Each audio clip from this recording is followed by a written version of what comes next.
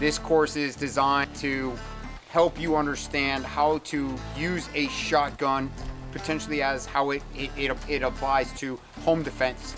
We put them through a bunch of different scenarios, some speed drills, uh, shooting and moving, different obstacles, but really focusing on move, shooting, moving, reloading behind cover, and making good sound tactical decisions. Reload right here.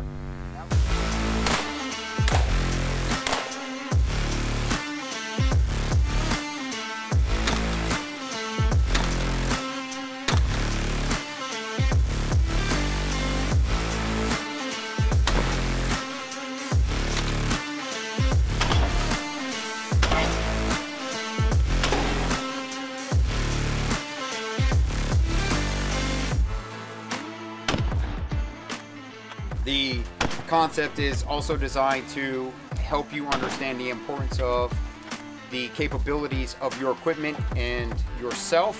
And I think we were able to replicate a lot of those things today and, and make a lot of improvements for everybody, you know, going forward.